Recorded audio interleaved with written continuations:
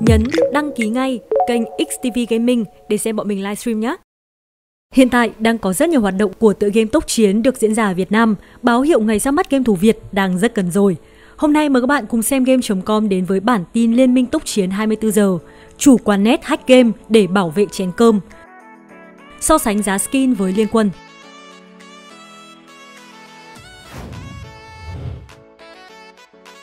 Minh Nghi khiến game thủ tốc chiến rụng tim với những khoảnh khắc thiên thần. Chuyến hành trình xuyên Việt của Liên minh tốc chiến khởi hành từ Cần Thơ vào ngày 14 tháng 11 vừa qua, đưa tựa game này đến với mọi miền Tổ quốc và sẽ kết thúc chặng đường vào ngày 29 tháng 11. MC Minh Nghi là khách mời đầu tiên sát cánh với game thủ trong quãng đường dài hơi này. Đây cũng chính là một trong những động lực để game thủ Cần Thơ và các tỉnh thành lân cận đến với chuyến xe tốc chiến. Liên minh tốc chiến sớm muộn cũng có thể chơi, nhưng cơ hội để gặp gỡ nàng MC quốc dân thì có lẽ không phải lúc nào cũng có. Chính vì vậy mà nhiều người đã không quản ngại đường xa cũng như trở ngại về thời tiết nắng nóng để xếp hàng nhằm được trực tiếp nhìn thấy thần tượng. Và đúng là không phụ lòng mong mỏi người hâm mộ, nàng MC xinh đẹp Minh Nghi đã xuất hiện theo một cách không thể xuất sắc hơn. Nét dạng người cùng nụ cười thân thiện thường trực trên môi đã khiến không ít game thủ tốc chiến ví Minh Nghi như thiên thần theo cả nghĩa đen lẫn nghĩa bóng đã đến đây và ủng hộ tốc chiến Việt Nam cũng như là trải nghiệm cái tốc chiến ở đây. Cảm ơn các bạn. Bây giờ à, rồi à, bởi vì phải ưu tiên cho anh em nào ở lại đúng không? Cho nên là Minh Nghi sẽ mời đại diện của team tốc chiến Việt Nam. Rồi mấy ông này nhanh lắm. Nhanh quá. Mới nói đại diện thôi là giơ tay hết rồi. Nó sẽ mời anh đại diện của team tốc chiến Việt Nam. À, à, chưa để anh giải thích là à, phải ưu tiên các bạn còn lại tức là nếu mà bốc lên mà không có bạn ở đây là hủy Hiện không rõ Minh Nghi có tiếp tục sát cánh cùng chuyến xe tốc chiến trên những chặng đường tiếp theo hay không, nhưng với riêng hai ngày 14 và 15 tháng 11 vừa qua, game thủ tốc chiến thực sự đã có những quãng thời gian đáng nhớ khi được trực tiếp trên tay Liên minh tốc chiến, đồng thời còn được chụp ảnh cùng thần tượng. Cô nàng MC quốc dân với nụ cười thiên thần. Dù rất đông người hâm mộ có mặt, nhưng Minh Nghi không quản ngại việc chụp ảnh chung, thậm chí còn là người tự cầm điện thoại để selfie. Đó là những khoảnh khắc mà người hâm mộ tốc chiến thấy được sự thân thiện, dễ thương và rất đối gần gũi của cô nàng.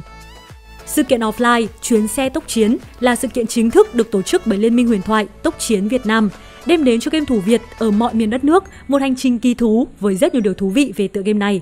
Theo đúng lịch trình đã công bố từ trước, thì vào ngày 14 tháng 11, chuyến xe này đã đến địa điểm đầu tiên trong hành trình của mình là Cần Thơ.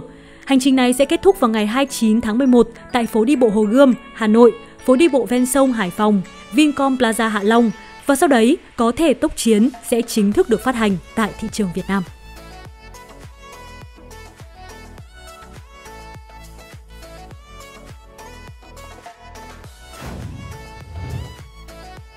Chủ quán net rủ nhau cài hack tốc chiến để bảo vệ miếng cơm manh áo.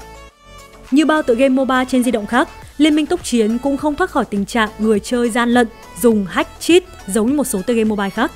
Hiện tại thì chẳng khó để có thể tìm hướng dẫn chi tiết tải và dùng các phần mềm gian lận tốc chiến. Và đây chắc chắn là một bài toán khó giải của Riot trong thời gian sắp tới. Mới đây, trong group chủ quán net xuất hiện bài đăng nhận được khá nhiều sự chú ý. Theo đó, một thành viên chia sẻ đã tìm ra bản hack cho Liên minh tốc chiến và trực tiếp trải nghiệm. Tuy nhiên, điều gây tranh cãi là chủ quán net này muốn cài bản hack cho toàn bộ thiết bị trong quán nhằm mục đích phá game để bảo vệ miếng cơm manh áo. Bản hack cung cấp vị trí phe đối phương cho người dùng hack map. Em biết hack game là hành động của mấy thằng trẻ trâu, nhưng vì miếng cơm manh áo, em phải hack. Anh em ơi, có hack Liên minh Mobile rồi này. Em trực tiếp test rồi, anh em muốn sống thì phải phá thôi. Dưới bài đăng một số chủ quán net khác cũng hưởng ứng. Mình tải sẵn hack cho mấy đứa trong quán chơi. Ai hack Pentakill tặng 10 phút. Thật phải mần cái này cho các cháu vô nhiều nhiều. Chuẩn rồi bác ơi. Sự vươn lên mạnh mẽ của thể loại game mobile với tâm điểm là sự xuất hiện của liên minh tốc chiến trong thời gian sắp tới khiến nhiều chủ quán net lo sợ mất đi doanh thu. PUBG Mobile trước đấy là một ví dụ điển hình khi khiến cho những chiếc PC nâng cấp cấu hình mạnh mẽ để trải nghiệm PUBG dần trở nên thừa thãi.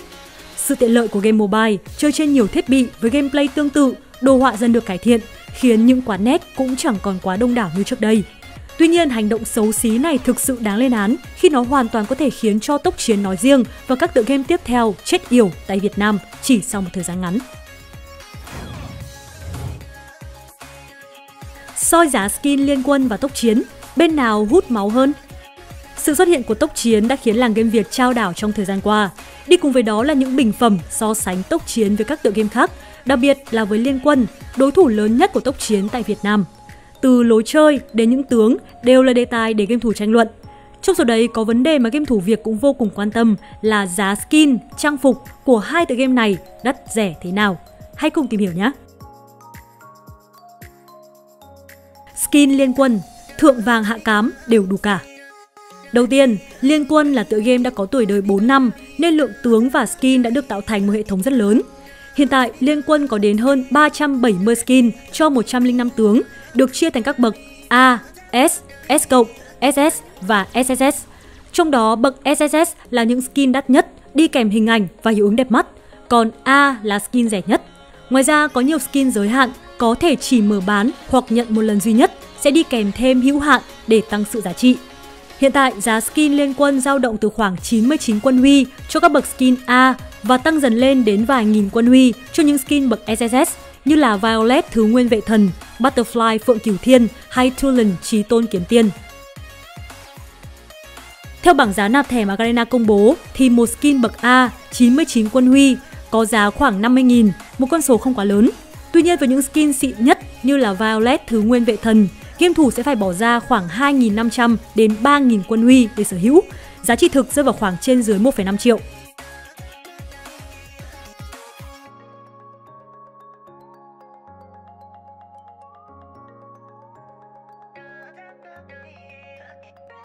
Vậy còn tốc chiến thì sao?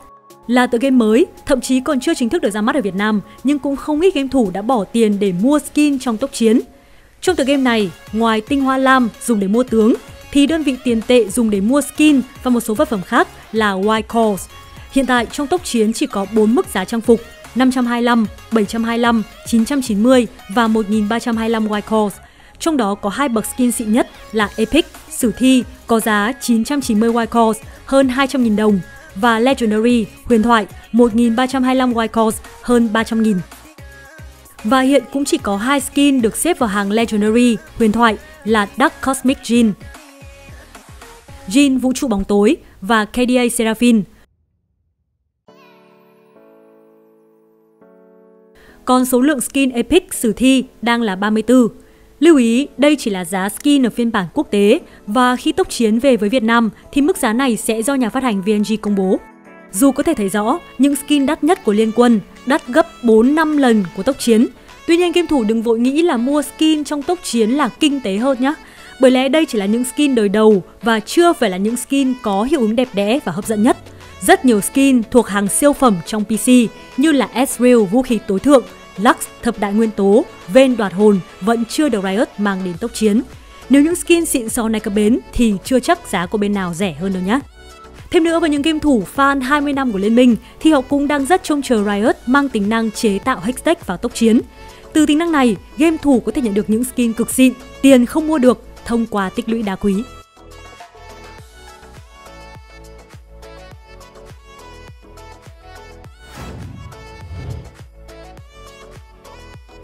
Nghĩ tốc chiến cũng giống liên quân, game thủ cầm Yasuo đi rừng, ăn bùa xanh. Liên minh tốc chiến tồn tại nhiều khái niệm xa lạ đối với game thủ liên quân, thậm chí là khác biệt rất lớn về gameplay. Dù đã được đơn giản đi khá nhiều so với PC, nhưng nhìn chung lối chơi của tốc chiến cũng phức tạp hơn rất nhiều và tồn tại những yếu tố, khái niệm mới mẻ đối với người chơi liên quân. Mới đây, một người chơi Việt đã phải kêu gào khi gặp trường hợp đồng đội mình cầm Yasuo đi rừng và quyết định ăn bùa xanh đầu tiên. Theo mô tả của anh chàng, thì Yasuo đi rừng đã bị bùa xanh củ hành và bắt đầu trở thành con mồi béo bở của đối phương. Kết quả là vị trí đi rừng vốn là một trong những nhân tố quan trọng lại trở thành gánh nặng thực sự cho đồng đội. Cuối cùng, Đấng cũng phải thú nhận mình không biết chơi Yasuo và nghĩ là Yasuo cũng là sát thủ. Mà đã là sát thủ thì cũng có thể đi rừng giống liên quân.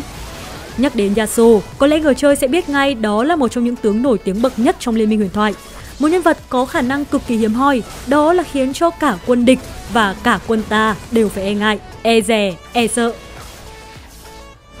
Trước khi bước vào trận, chỉ cần một bên có cái tên Yasuo thôi là 9 người chơi còn lại đều sẽ hồi hộp, toát mồ hôi hột, chờ đợi liệu ác mộng sẽ thuộc về phe ta hay là phe địch. Và để rồi khi trận đấu kết thúc, một bên sẽ sung sướng thỏa mãn, một bên thì ấm ức cái cú.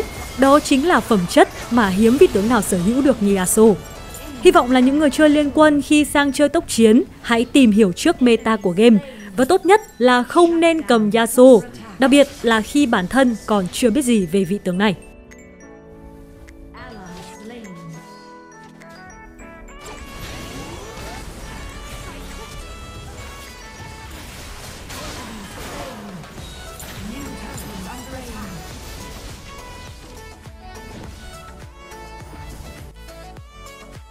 Vậy bạn nghĩ sao về những thông tin mới này? Hãy để lại bình luận của mình bây giờ nhé!